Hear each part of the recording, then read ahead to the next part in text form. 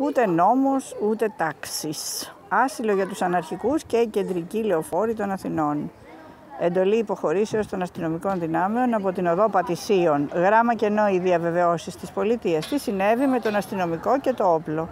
Εξευτελίζει τους αστυνομικούς που κινδύνευσαν με ΕΔΕ και διαθεσιμότητες ο κύριος Θεοδωρικάκος. Όσοι είχαν την ατυχία να πρέπει να περάσουν από την οδό Πατησίων χθες το μεσημέρι, είδαν την κατάσταση ανάγλυφη. Η παρανομία και η αταξία που εκκινούσαν από το κτίριο του Οικονομικού Πανεπιστημίου είχαν επιβάλει τη διακοπή της κυκλοφορίας από το ύψος της Λεωφόρου Αλεξάνδρας μέχρι σχεδόν την Κυψέλη.